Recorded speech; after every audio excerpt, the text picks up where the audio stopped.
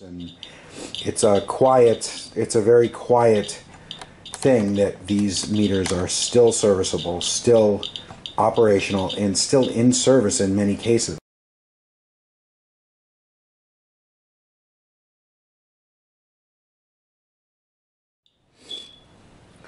Hello and welcome back to Prepping 101 on Guns America.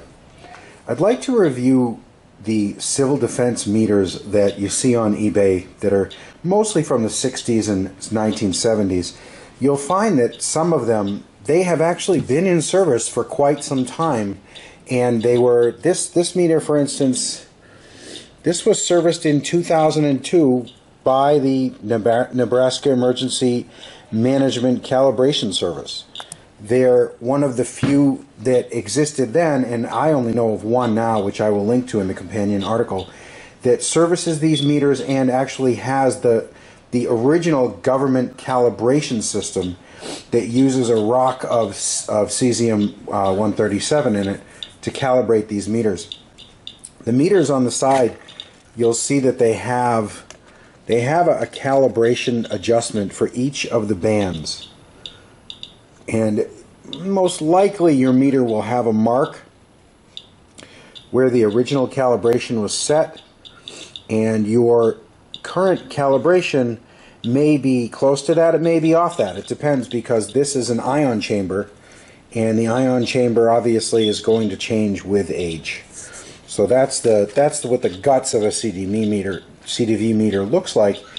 The the face of it itself has has this dial and they take a D battery so off is off.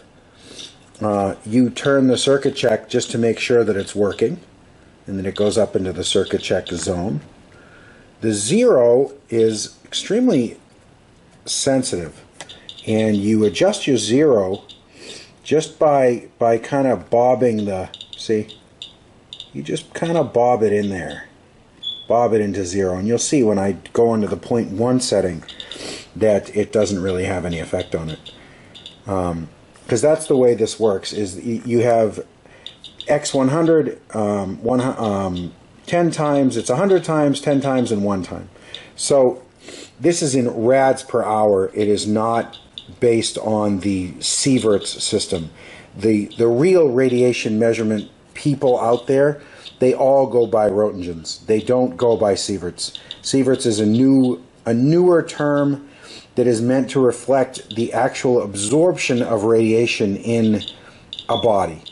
And sieverts are not exactly parallel 100 times the, the, the rads or 100th of the rads, but they are related um, depending on what material it is it, the radiation is penetrating. So this is a CDV 715 and it sits right in its case here. You see I've got a, a fresh calibration certificate from 2014. This is the, the company that this is the current company that that services them, Rad Meters for You. Shane Connor is the owner. I've spoken with him several times, mostly via email. This is the other one, the CDV 717. This has a remote sensor capability. You'll see I have it plugged in here so that you can take your ion chamber and put it outside your shelter. Um, these are the only real high level meters that you can buy. I am testing a Russian one that has two different types of, of regular um, GM tubes in them, a high level and a low level. But these are the these are the the the only cheap, reliable meters out there for high level radiation. The only thing is, they don't work for low level radiation at all, and even high level, low level radiation. This, for instance, this is my inspector alert, which you guys have seen me use in some of my other articles and videos. And you can see I've got a radiation source over here, so it's near it, so it's so it's it's it's clicking. But if I put this upside down on the pancake filter, there's uh, there's some cesium in here, there's some strontium, there's some cobalt, there's some polonium. It's uh, these are these are uh, lab samples. You can actually buy them yourself from Spectrum Techniques. Um, they're expensive, but they're not. It's not like there's a You, you don't have to fill out a federal form or something because there's only a little tiny piece of stuff in there. But as you can see, it, it, it's, it's, it doesn't play around. When it comes to this level, this meter, and it will actually blank out this meter. Even one of these will blank out this meter. This meter dies. So that's true of all those low level meters. They, they can't handle a nuclear event. They can't even handle these little guys. So let me just show you the, the high level meters. The high level meters are the absolute opposite. They are not even affected by these little guys. That's the kind of radiation that they're built to, to, to measure for you. Just how much is coming down in a true nuclear fallout situation. That's why you have to have one of these. So I'll turn this off. This is the 717. I will zero it. Get the radiation away from the from the chamber. And then I'm going to turn it all the way to point 0.1. Now you're going to see it jump a little bit on point 0.1 because obviously when you're zeroing it, you're zeroing it at 1 and you can't really fine tune the zero. So it's settled in there around uh, 0.6. Okay, when I have it on the 0.1, it's 0.6, so it would be 0.06 uh, rads per hour, um, according to this meter. So now I'm going to put this whole thing, not just one of these, but the whole thing on there. All right, see what happens. Nothing. You see? It, it's settled the same thing. It's settled in at 0.6, 6.5. Take it away, no bounce. Put it back, no bounce. And that is right on top of the ion chamber. I'll put it on the bottom of the ion chamber just in case you're curious. Same thing. Nothing going on. So that it's really important to understand why you need one of these because this radiation won't hurt you. I can carry this in my shirt pocket for a year and it's not going to hurt me. But it still lights up this low level meter like there's a nuclear bomb just went off outside. That's the that's what to understand about them.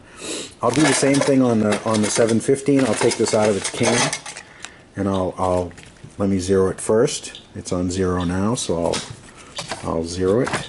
Put my radiation away. Okay. Get her get her to zero there. Okay. Now I'm going to crank it up to 0.1. Okay, I actually didn't get a bounce on that one, so my zero was closer to zero. So now I will put it down directly on my radiation.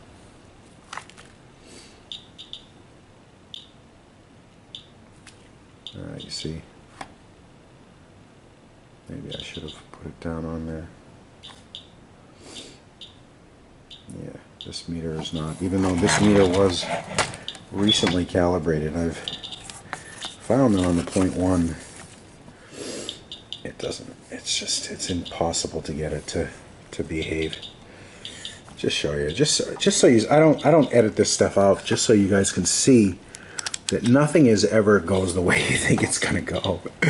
And nothing is ever exactly what you think it's going to do. I've actually had this bounce putting it down before and I said, whoa, it does react. And then I tried it a couple more times and it didn't react. So we might as well do the same thing again. I will re-zero this. Okay. This time I'll put it down on top of the, I'll put it down flat because I, I know that's what that's what did that. So when I put it down flat, see I can jiggle this and it's get it to bounce a little bit. See it's it's bouncing. See how it moves? It's because for high level radiation it's actually fairly sensitive but the ion chamber, see back and forth, it's doing its, see it's as I put it down, it's bouncing a little bit. So now that it's it's settled in, I will put this back under it. Let's see what happens. Say nothing. So I got all excited before because the similar experience happened to me. But as you can see, it really doesn't really doesn't matter. Um, this is a, a, a, good deal of radiation for non-nuclear event, and it's just not even registering.